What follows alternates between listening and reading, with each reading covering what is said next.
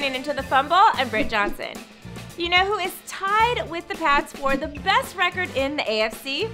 The Raiders are. And you know who forgot this? Steph Curry did.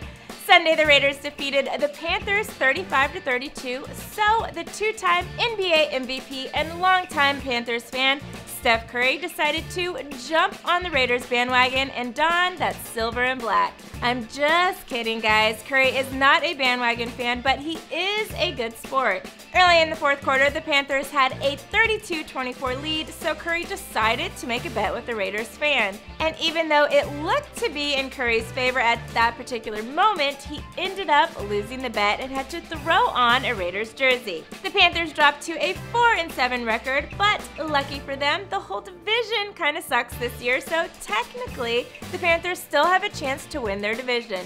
Hey, what can I say? I'm an optimist. The Oakland Raiders were very pleased and wrote, Everything looks better in silver and black. Steph took to Twitter as well, saying, Never a doubt I'm riding with my Panthers forever.